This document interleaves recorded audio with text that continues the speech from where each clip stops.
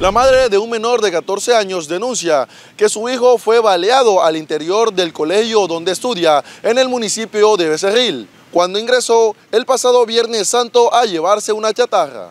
Allí, en esta clínica, hay un joven que está en unos cuidados con un pronóstico reservado.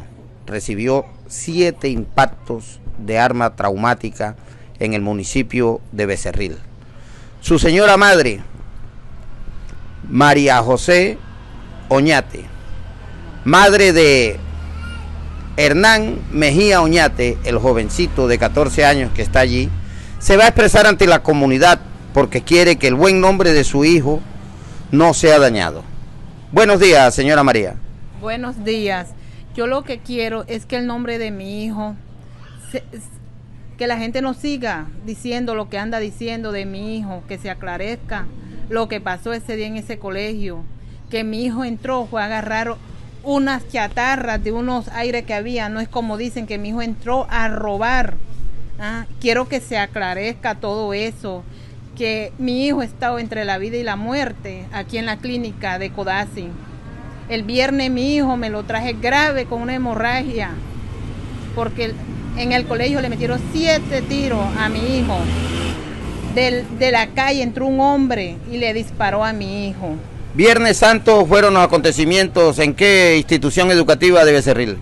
Ese es el bachillerato, está en construcción, el colegio lo están tumbando, ese es Ángela María Torres Suárez. ¿Él estudia allí en el mismo colegio? Sí, él entraba el, el lunes a estudiar de noche mi hijo. Ya estaba matriculado porque yo ya lo había matriculado. La persona que lo agredió no trabaja en la institución, ¿qué se comenta? No trabaja en, en el colegio. Ahí lo que había era una celadora. Lo dejo claro, había una celadora. Que no digan que no había celadora porque sí había una celadora. Y ese hombre es de la calle, es de la calle. ¿Edad del jovencito, su hijo, qué edad tiene? 14 años tiene mi hijo, 14 años.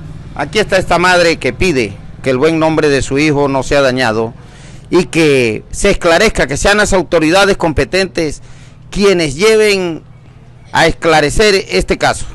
En el grupo empresarial Carpio, conformado por Carpio Firma de Abogados y Carpio Bienes Raíces, contamos con un equipo capacitado para brindar los más eficientes servicios de asesorías, consultoría, interventoría en el área legal, así como el área de la administración de inmuebles.